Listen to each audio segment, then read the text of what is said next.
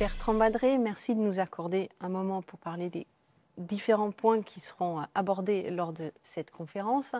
Euh, J'aimerais vous poser une première question sur la crise climatique qui est devenue extrêmement prégnante ces derniers mois. Incendies, inondations, la sécheresse, surtout en Europe, euh, mais aussi dans d'autres parties du monde. Pourquoi, alors qu'on voit les effets réels, on n'arrive pas à agir plus rapidement et ensemble? Alors la réponse est oui et non. Oui, euh, on prend conscience de, l'ampleur du problème, on le touche, on le sent, on le voit. Euh, effectivement, inondation, incendie, euh, canicule, enfin, phénomène extrême. c'est pas nouveau, mais ça s'accélère, c'est plus intense, c'est plus rapproché. et en même temps, on voit bien qu'on n'avance pas très vite. Ce qui s'est passé à la COP, euh, à la fois, on a dit on va créer un nouveau fonds, on va reconnaître les problèmes passés et voir comment s'en occuper pour l'avenir, mais il n'y a pas d'argent dans ce fonds pour l'instant. On voit bien qu'il y a une tension croissante entre les, pays euh, du Nord, j'ai même presque dire les pays de l'Ouest et les pays du Sud. Donc on est à cette, jonction où, l'urgence est de plus en plus visible et de plus en plus prégnante. Euh, on commence à mieux comprendre ce qu'il faut faire et on voit bien qu'on n'est pas dans les mêmes calendriers, que les choses se mettent en place doucement. On parle de d'engagement net zéro euh, en 2040, 50, 60, ce qui est effectivement ce qu'il faut faire. Mais on se rend compte que la plupart des gens qui prennent ces engagements ne savent pas comment ils vont y arriver. On voit bien par ailleurs que cette question qui est planétaire, elle n'est pas traitée de manière planétaire. Elle est traitée euh, pays par pays, ville par ville, entreprise par entreprise. On essaie de faire des coalitions qui marchent plus ou moins bien, qui ont le mérite d'exister, bien sûr, mais qui marchent plus ou moins bien. Donc on est dans une phase qui est assez anxiogène. On voit bien le, le problème avancer.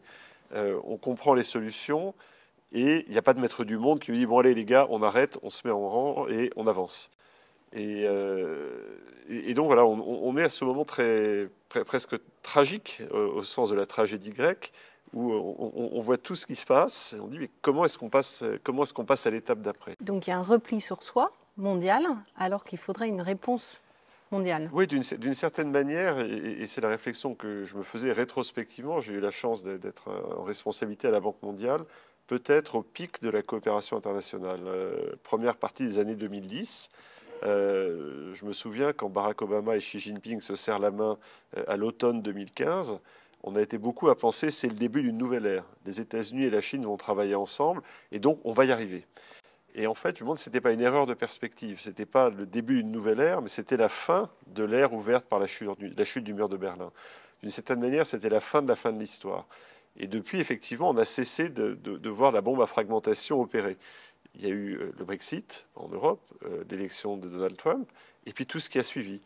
Et donc, effectivement, d'un côté, on a une problématique qui est même pas mondiale, qui est planétaire, et de l'autre une fragmentation euh, des volontés, des représentations, des images, euh, avec une vraie difficulté à travailler tous ensemble.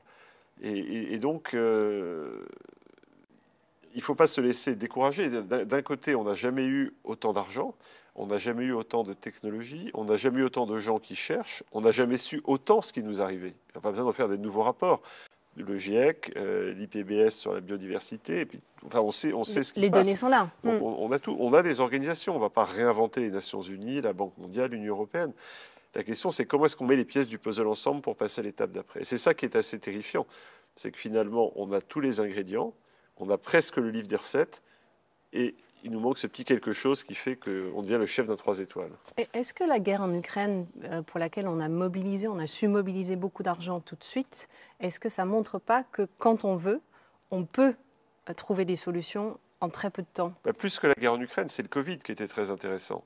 Euh, rappelez-vous, on était il y a deux ans et demi, en mars 2020, c'était épouvantable. On n'avait aucune idée. Je dois dire que j'ai assez peu de sympathie pour Donald Trump, mais qu'il a été le premier à dire euh, on aura un vaccin dans les neuf mois. Ce qui montre que l'humanité, dos au mur, et en mars 2020, on a été dos au mur, toute la planète était arrêtée, la moitié, plus de la moitié des enfants n'allaient plus à l'école. Enfin, on était dans un phénomène qu'on a un peu oublié, mais qui était quand même extraordinaire, paroxystique. Euh, on a été capable, dos au mur, de mobiliser des ressources, de mobiliser de la recherche, des technologies, de la logistique, pour que finalement, deux ans et demi après, on soit là et qu'on en parle sans masque l'un en face de l'autre, même si tout n'est pas réglé sur le Covid. Donc, dos au mur, on est capable de faire le quelque chemin parcouru un peu de La temps. difficulté sur le climat, c'est que on, est dos au mur, mais c'est moins, c'est moins sensible. Il y a peut-être encore quelques années. C'est ce que Marc Carnet avait appelé euh, il y a quelques années la tragédie des horizons, qui est en charge de ce qui se passe dans 7, 8, 10, 15 ans. Aujourd'hui, pas grand monde. Et, donc oui, ce qui me rend optimiste, c'est que quand on n'est vraiment pas bien, on sait faire. Euh, mais là, on n'y est pas encore. Vous avez cité durant la conférence euh, cette phrase de Jacques Chirac avec lequel euh, vous avez travaillé. Mmh. La mondialisation doit payer pour la mondialisation. Vous, avez, euh, mis, vous aviez mis ensemble en place une taxe sur les billets d'avion. Qu'est-ce qu'il faudrait faire? Ça, Trouver d'autres taxes? Alors le, mot taxe est évidemment toujours suspect, surtout dans la bouche d'un Français, mais ce que je vais beaucoup aimer dans cette, dans cette vision du, du président Jacques Chirac, c'est de se dire effectivement on a fait nation autour de l'impôt, c'est comme ça, les parlements sont l'autorisation du peuple à lever l'impôt. Euh, et d'une certaine manière, pour rendre la mondialisation comestible, il faut que la mondialisation euh, soit capable de partager les bénéfices, qu'on n'ait pas tous les bénéfices dans les mains de quelques-uns et tous les coûts dans les, mains de quelques autres.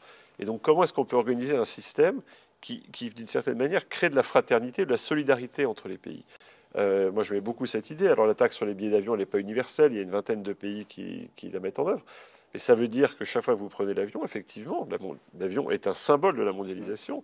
Vous contribuez à la recherche médicale par l'intermédiaire d'Unitaid. Alors, est-ce que c'est une taxe? Est-ce que c'est des, réglementations? Est-ce que c'est des interdictions? Est-ce que c'est de la mise en commun de ressources? Je ne sais pas. Mais tout ce qui fait qu'on sera solidaire euh, sera bon.